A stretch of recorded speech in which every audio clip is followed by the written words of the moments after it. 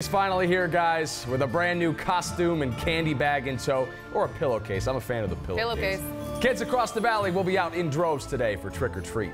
But how can you keep track of exactly where the little ones are while they're out? It's a great idea. Team 12's Trisha Hendricks joins us live from the social zone. And as they say, Trisha, there's an app for that. Did you guys say pillowcase? Yeah. Now we know who the person is that's heading out gathering all the candy around the neighborhood.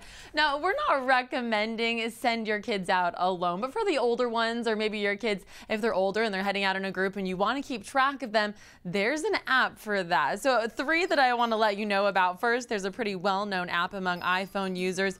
It's Find My Friends by using Find My iPhone. The app allows you to keep track of up to 100 people.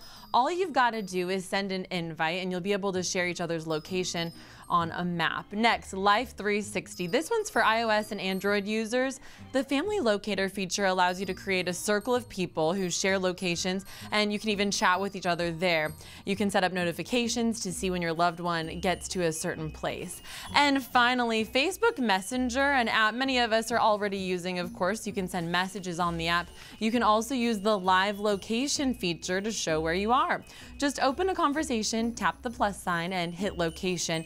There's a time limit though. Messenger will only work for about 60 minutes at a time there. It's definitely 2018. Growing up, we didn't have anything like this. Uh, what do you guys think? Would you have wanted your parents to track you or were they just right there alongside you? Right there alongside me, my Yeah. dad, constantly. Same. Yeah, until I got older, they didn't really let me loose. But even then, they knew the neighborhood that we were in, you know? Let you How lose. old, how old did, I mean, how old were you when you went trick-or-treating? Until about 12, I'd say. Yeah. Oh, Oh, and I was a big cord, kid right? too, so that was not fooling anybody at 13. Like, sir, you're six feet tall. You need to leave. That's true. Yeah. All right, we want to know how you're celebrating tonight. Are you trick or treating? Handing out candy at home? Maybe watching some scary movies? Some combination thereof?